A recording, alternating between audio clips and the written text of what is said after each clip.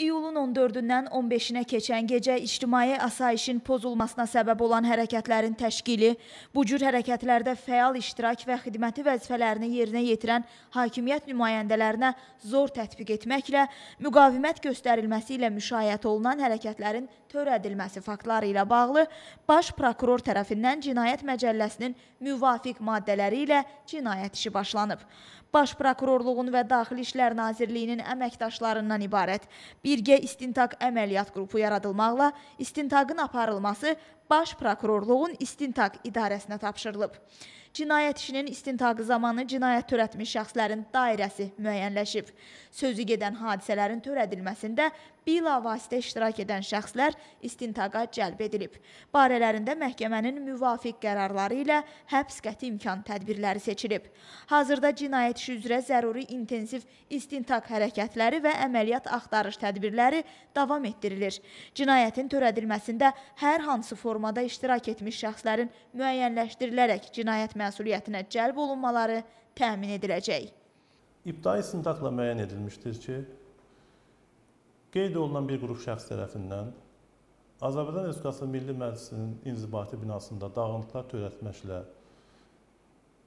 həmin orqana 22232 manat, daxili işlər orqanlarına məxsus avtomobil maşınlara xəsarət yetirməklə 57041 manat, eləcə də şəhər təsərrüfatına və mülki şəxsə müxtəlif məbləğlərdə maddi ziyan vurmuşlar. Bundan əlavə, həmin bir qrup şəxs tərəfindən 18 nəfər hakimiyyət nümayəndəsinə müxtəlif dərəcəli bədən xəsarətləri yetirilmişdir. Həmin şəxslər və digərləri olmaqla ümumilikdə cinayət işi üzrə 22 şəxs zərərçəkmiş şəxs qismində tanınmışdır.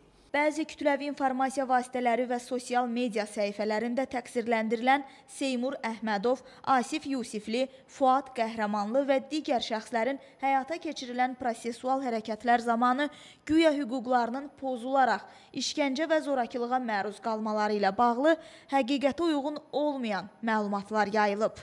Əməllərində cinayət tərkibi müəyyən edilən şəxslər istər şübhəli şəxs qismində tutulduqları andan, istərsə də təqsirlənən şəxs qismində cəlb olunduqları andan İnsan Hüquqları üzrə Avropa Konvensiyası, Cinayət Prosessual və digər Azərbaycan Respublikasının qanunvericiliklərində nəzərdə tutulmuş hüquq və azadlıqları tam təmin edilmiş, onlar həmin andan müdafiəsi ilə təmin edilmişlər və onlar barəsində aparılan bütün istintaq və prosessual tədbirlərdə, hərəkətlərdə müdafiəsinin iştirakı təmin edilmişdir.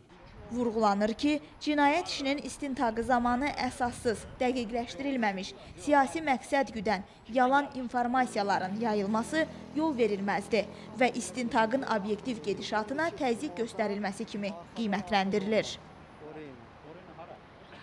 Çıxdım oradan, orada su gələn yer var. Onun yanından çıxdım getdim. Oraya qalxıb hara getdi oradan?